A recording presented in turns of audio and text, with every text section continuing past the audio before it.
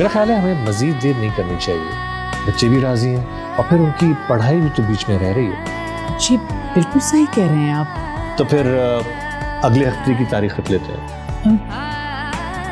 इतनी जल्दी? तुम अपनी ज़िंदगी को इतना मुश्किल क्यों बना रहे हो?